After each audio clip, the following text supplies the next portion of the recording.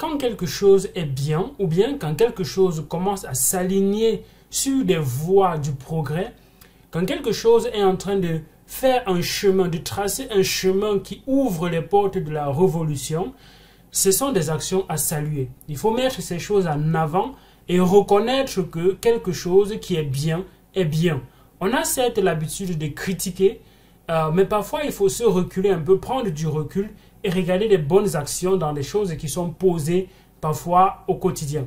Et donc, je vais lire cette note du, ministre, du ministère des Enseignements secondaires du côté du Cameroun, qui est en train de mettre sur pied un système dont on va voir le problème pertinent que ça résout par la suite. Donc, maintenant, le ministre, qu'est-ce qu'elle dit? Cette note dit, le ministre des Enseignements secondaires informe la communauté éducative nationale que les matricules uniques donc le matricule unique est requis pour les inscriptions des élèves dans tous les établissements secondaires publics et privés du Cameroun dès cette rentrée 2024-2025. Le matricule unique s'obtient uniquement sur cette plateforme qui est donc cartescolaire.com. Alors, tout élève qui est inscrit dans un établissement secondaire, d'enseignement secondaire, public ou privé, sans matricule unique, n'est pas en mesure de s'acquitter de ses contributions exigibles, donc il ne peut pas payer la pension, parce qu'il faudrait effectivement le matricule pour payer la pension. S'inscrit dans des examens officiels et concours officiels organisés par la direction des examens. Donc, sans ce matricule, tu ne peux pas participer à un concours, à un examen officiel. Si tu es une personne qui est dans la blockchain et que tu ne sais pas où tu vas trader, je mets effectivement cette plateforme ici dans ton radar. La plateforme CoinExchange te permet de faire tes transactions avec des frais, bien évidemment, minimes. Et donc, euh, si tu cherches un endroit où tu vas euh, peut-être trader des tokens qui sont encore tout nouveaux, qui sont tout jeunes, en évitant les censures qu'on a peut-être du côté de Binance ou les cartes où les comptes ne passent pas toujours et toujours, ou bien les crypto-monnaies quand ils arrivent là-bas, c'est déjà tellement grand, et donc ça n'a plus tellement trop d'opportunités. Les exchanges qui sont encore petits sont parfois intéressants. Et donc, je mets effectivement cet exchange dans ton radar, bien évidemment. Et donc, vas-y, inscris-toi avec le lien qui est en description de cette vidéo et tu vas avoir une réduction sur les frais de transaction sur la plateforme et ça te permettra d'être encore plus habile et faire beaucoup plus de choses dans le système. Et sans ce matricule encore, tu ne peux pas participer, tu ne peux pas bénéficier d'une assurance scolaire. Déjà, l'assurance scolaire, je ne vais pas trop me pencher là-dessus parce que euh, c'est clair que je ne sais même pas quels sont les critères pour en bénéficier et qui sont ceux qui en bénéficient généralement. Il y a très peu de personnes qui en bénéficient. Et donc, je ne vais pas entrer dans ce débat, ce n'est pas le débat. Mais sans ce, sans ce matricule, dorénavant, tu ne peux pas bénéficier de cette assurance. Et ceux qui participent au jeu de la FENASCO, qui est euh, un, championnat qui va primer les élèves au secondaire, où ils vont participer parfois à des... En fait, euh, c'est du sport, c'est de l'activité sportive. Et donc ça, tu ne peux pas participer si tu n'as pas de matricule unique, si tu n'as pas de numéro unique. Donc les établissements d'enseignement secondaire privés qui ne se conforment pas à cette, euh, à cette réforme ne peuvent pas bénéficier de la subvention de l'État.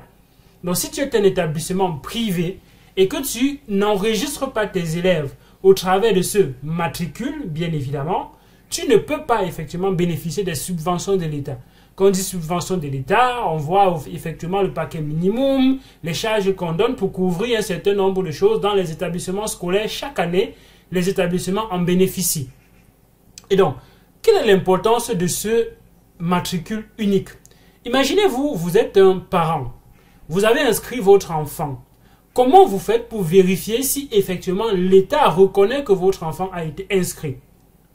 Quand vous changez d'établissement de votre enfant, cet enfant se voit octroyer un nouveau matricule. Et donc, euh, c'est une nouvelle personne. Quand cet enfant, quand, quand cet enfant dans ce nouvel établissement paye la pension, on ne sait pas effectivement que c'est la même personne. Et donc, il est difficile de tracer le chemin d'un enfant. Il est difficile de tracer le parcours d'un enfant par l'État. Voilà un problème que le matricule unique va venir résoudre.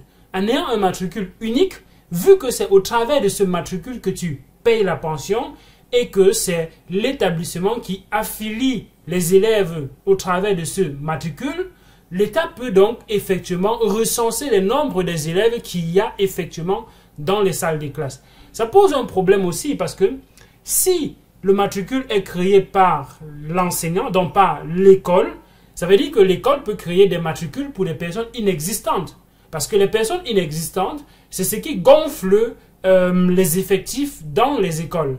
Et donc, quand les effectifs sont gonflés dans les écoles, les établissements peuvent avoir un gros paquet minimum d'une certaine façon. Mais bon, je ne vais pas rentrer dans cette polémique pour le moment.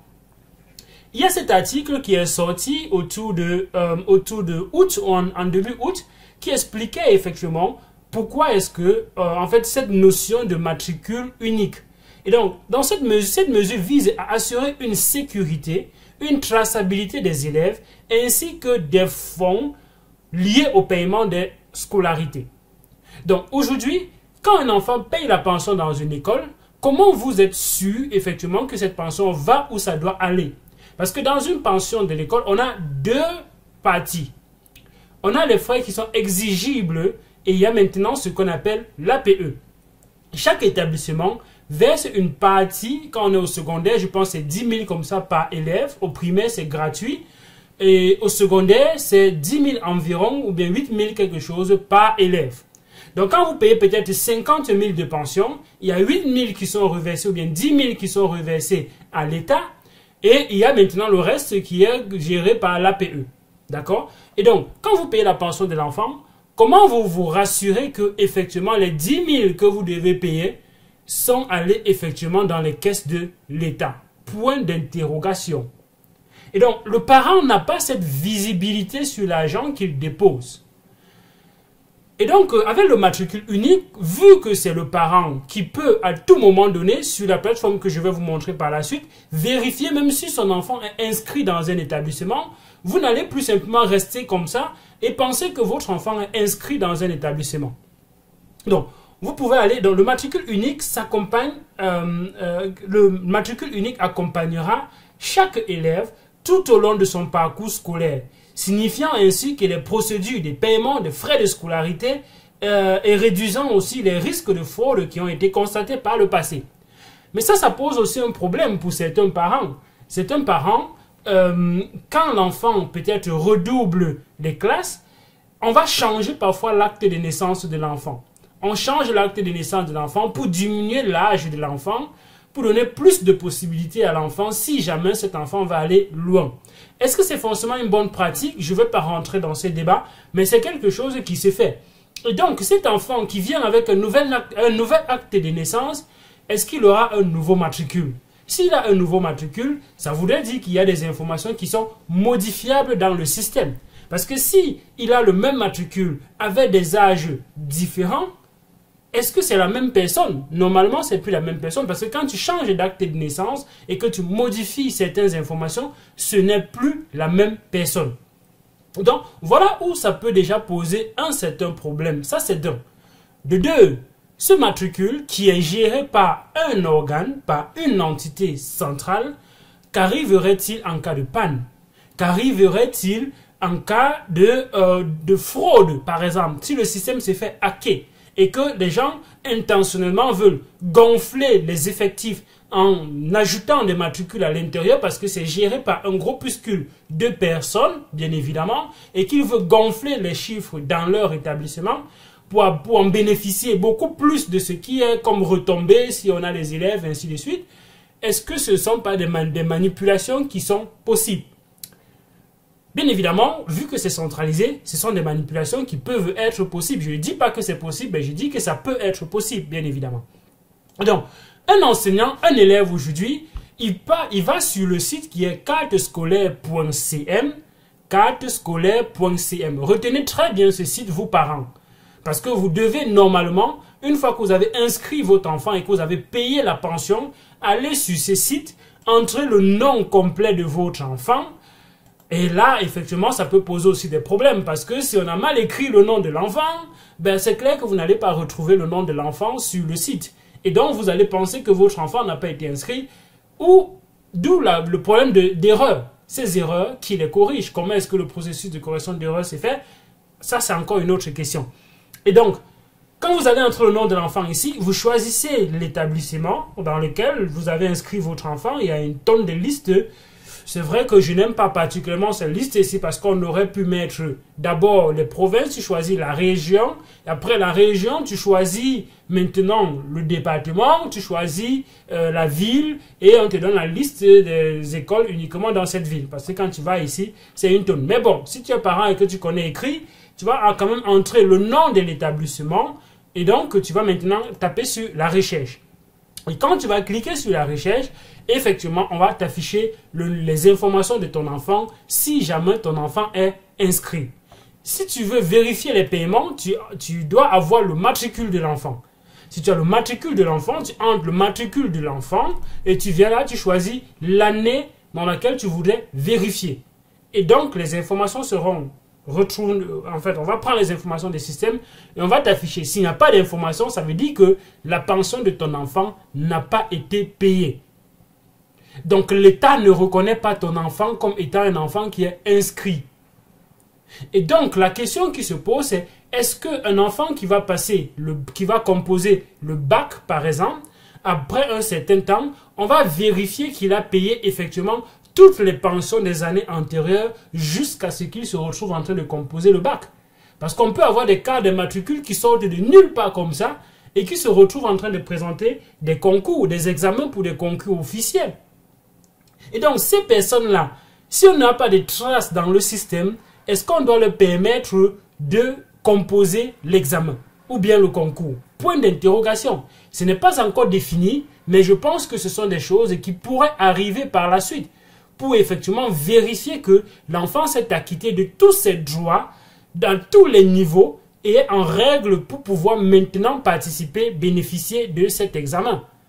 Problème, que se passera-t-il s'il y a des enfants qui sautent des classes? Point d'interrogation.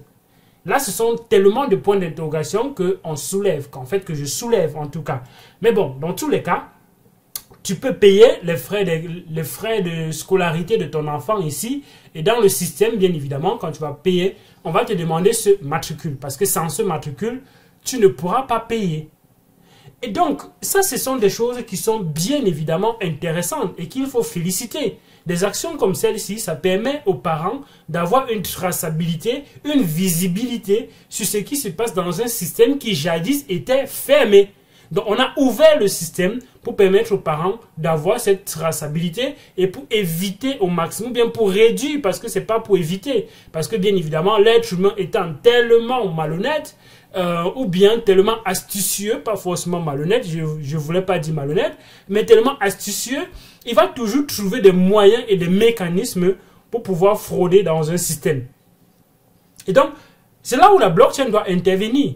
Parce que la blockchain, effectivement, réduit les fraudes, pas annule les fraudes, mais réduit les fraudes. Ou bien, même s'il y a des fraudes, on permet de garantir une traçabilité de ces fraudes-là. Parce que dans une base de données, quand on l'a modifiée, si la base de données n'est pas conçue d'une certaine façon pour laisser les traces, alors on ne pourrait pas avoir les traces. Parce qu'on peut effacer les traces dans une base de données. Et donc, si on est dans un système de blockchain, vu qu'on ne peut pas effacer les traces, s'il y a des manipulations, à un moment donné, vous avez, vous, vous avez la possibilité d'appeler un cabinet d'experts externes et qui peut venir auditer le système en retraçant tout ce qui s'est fait effectivement euh, avec les traces qui ont été laissées sur la blockchain. Modification de matricule, ça laisse une trace sur la blockchain. Ajout d'un élève, étudiant et tout ça, ça laisse des traces sur la blockchain. Paiement, ça laisse des traces sur la blockchain. On supprime le paiement, ça laisse la trace de la suppression sur la blockchain. Et c'est ça l'avantage d'avoir des systèmes qui sont effectivement décentralisés. Je ne voudrais pas forcément dire que l'État doit décentraliser le système, mais même en interne, on peut avoir des bases de données qui sont en fait des blockchains qui sont internes, qui sont gérées par des organisations. C'est ce qu'on appelle les hyperledgers. Les Hyperledger, ce sont des blockchains qui sont gérés par des consortiums, qui sont gérés par des individus, et donc ils définissent les règles pour pouvoir gérer cette base de données, pour pouvoir ajouter les informations, chose que d'autres blockchains vont utiliser au travers des mineurs, des validateurs, euh, des proof of stake, en fait d'un consensus qui est décentralisé. Mais dans le cadre des blockchains qui sont centralisés, comme les Hyperledger, effectivement, on va utiliser des consensus centralisés, et donc c'est justement simplement un accord D'accord? Et, mais l'avantage, c'est que ça laisse des traces sur la blockchain. Et comme ça laisse des traces sur la blockchain, on va donc arriver à ce que le professeur Nalova Leonga veut effectivement arriver avec le système qu'on est en train de mettre en place. Et donc le système est actuellement bien, c'est un premier pas. Et comme toute chose évolue, ce système pourra évoluer et s'améliorer en apportant d'autres choses dont j'ai parfois j'ai expliqué tout au long de cette vidéo. Qu'est-ce que vous pensez de ce système des matricules uniques qui a été proposé par le gouvernement du Cameroun, par le ministère des enseignements secondaires du côté du Cameroun? Est-ce que le problème, il est forcément résolu, ce qu'on veut résoudre, est-ce que c'est forcément résolu? Tu me dis ce que tu penses en commentaire de cette vidéo. Moi, je salue l'action, je félicite déjà ce premier pas, mais je me dis, pour que ce soit effectivement une solution pour résoudre le problème dont on veut résoudre, parce que là, on est en train de résoudre d'une certaine façon les symptômes, et donc euh, il pourrait avoir d'autres symptômes qu'on n'a pas pensé, qu'on n'a pas vu, qui vont émerger, et donc il faudrait qu'on résolve le problème à la racine. Pour résoudre le problème à la racine, il faudrait effectivement qu'on donne un moyen efficace de pouvoir enregistrer avec un encre indélébile ces informations. Et pourquoi pas faire en sorte que le parent intervient dans le processus d'enregistrement de l'enfant. Et que ce soit pas uniquement l'établissement, parce que ici, si je veux me connecter, ce sont des personnes qui ont déjà des comptes qui peuvent se connecter. Et ces comptes, sûrement, c'est créé par le, euh, par le ministère. Et donc, les personnes qui ont, euh, qui ont l'accès à ce compte-ci, euh, qui vérifie effectivement ces informations qui sont mises Comment est-ce que le parent intervient dans le processus d'enregistrement de son enfant? Ça, c'est toute la question. Est-ce que le parent est simplement là pour observer ou bien on lui donne l'information, voici le matricule de ton enfant? Si on lui donne simplement un matricule Qu'est-ce qui garantit à l'enfant que ce matricule est unique pour son enfant? Qu'est-ce qui garantit qu'on n'a pas enregistré cet enfant deux fois avec des informations différentes dans le système et lui, il a une seule information? Ainsi de suite. Donc, cette porosité-là fait en sorte que le système doit forcément s'améliorer, détecter ces problèmes et effectivement euh, trouver des solutions pour pouvoir survivre. Sinon, on aurait mis encore plutôt une façon plus facile pour les gens de pouvoir donner des informations qui sont simplement inutiles. C'était le Viscondio. Like et partage la vidéo. Abonne-toi pour ne rater aucune des autres vidéos sur la chaîne. Dis-moi ce que tu penses de cette initiative en commentaire de la vidéo. Je veux bien évidemment t'écouter. Abonne-toi et à d'autres vidéos sur la chaîne. Porte-toi bien. Ciao